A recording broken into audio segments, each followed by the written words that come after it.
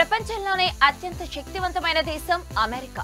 అందుకే ఈ దేశ అధ్యక్షుడికి రాజయోగాలు ఇంద్రభోగాలు కూడా ఎక్కువే. అసలు ఈ దేశానికి అధ్యక్షుడంటే ఒక రకంగా ప్రపంచానికి అధినేత అని చెప్పాలి. మరి అలాంటి అధినేత లైఫ్ అంటే మామూలుగా ఉండదు. అతనికి ఇచ్చే సదుపాయాలు మన ఊహకు కూడా అందని రేంజ్లో ఉంటాయి. సకల సౌకర్యాలతో వైట్ హౌస్లో వెలకట్టలేని జీతంతో ట్వంటీ ఫోర్ బై సెవెన్ ఈగ కూడా వాలకుండా చూసుకునే భద్రత సిబ్బంది ఉంటారు. అబ్బా ఆ రేంజ్లో ఉంటుందా అనుకుంటున్నారా? అంతకు మించి ఉంటుంది. పచ్చిగా మాట్లాడుకుంటే ప్రపంచంలో ఇంకే దేశ ప్రెసిడెంట్కి ఇంతటి రాజభోగాలు ఉండవనే చెప్పుకోవాలి.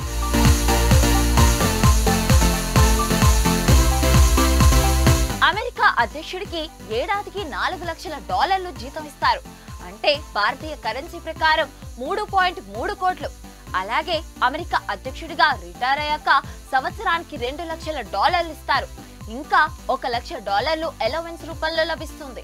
ఇది కేవలం జీతం మాత్రమే. ఇది కాకుండా ప్రెసిడెంట్ అధికారిక ఖర్చుల కోసం ఏడాదికి యాభై వేల డాలర్లు ఇస్తారు. దీనికి ఎటువంటి పన్ను ఉండదు. ఇవి కాకుండా ప్రయాణ ఖర్చుల కోసం మరో లక్ష డాలర్లు వినోదం కోసం మరో పంతొమ్మిది వేల డాలర్లు అందుతాయి.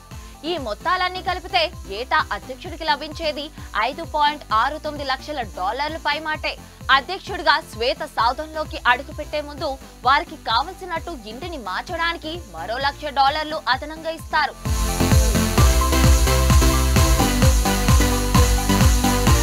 దీనితో పాటు వారి ఇతర దేశాలకు ప్రయాణించడానికి ఒక లిమోసిన్ కారు ఒక marine helicopter air force one అనే విమానం కూడా ఇస్తారు. ఇక భద్రత కూడా చాలా కట్టుదిట్టంగా ఉంటుంది. అయితే రెండు వేల ఒకటి నుంచి ఇప్పటి వరకు అమెరికాలో అధ్యక్షుడి జీతం పెరగలేదు. అమెరికాలో అధ్యక్షుడి జీతం చివరిసారిగా జార్జ్ డబ్ల్యూ బుష్ అధికారంలోకి వచ్చినప్పుడు పెరిగింది. అంతకు ముందు అమెరికాలో అధ్యక్షుడి జీతం రెండు లక్షల డాలర్లు ఉండేది.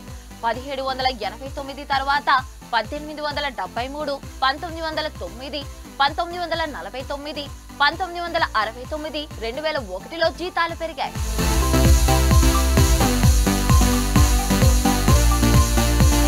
ఇక అమెరికా అధ్యక్షుడు వైట్ హౌస్లోనే నివాసం ఉంటారు. పరిపాలన మొత్తం అక్కడి నుంచి చేస్తారు. కుటుంబ సభ్యులతో కలిసి కూడా అక్కడే ఉంటారు. వైట్ హౌస్ మొత్తం ఆరు అంతస్తుల భవనం. దీనిని పద్దెనిమిది వందల సంవత్సరంలో నిర్మించారు. కాలక్రమేణా దీనిని ఇప్పటి తరానికి తగ్గట్టుగా మార్చుకుంటూ వచ్చారు. యాభై ఐదు వేల చదరపు అడుగుల విస్తీర్ణం కలిగిన ఈ భవంతిలో మొత్తం నూట ముప్పై రెండు గదులు ముప్పై ఐదు బాత్రూంలు ఉన్నాయి. ఇందులోనే tennis court jogging track movie theatre swimming pool లాంటి సౌకర్యాలు ఉంటాయి. అధ్యక్షుడికి విందు కోసం నిత్యం ఐదుగురు చెఫ్లు పనిచేస్తూ ఉంటారు.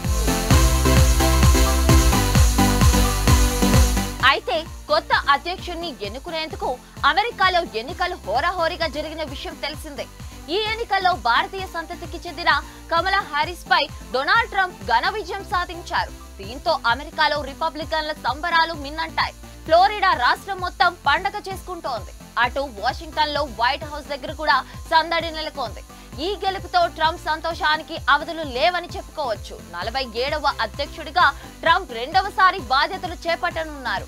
అమెరికా కొత్త అధ్యక్షుడు జనవరి ఇరవై రెండు వేల ఇరవై ఐదున పదవి బాధ్యతలు స్వీకరిస్తారు.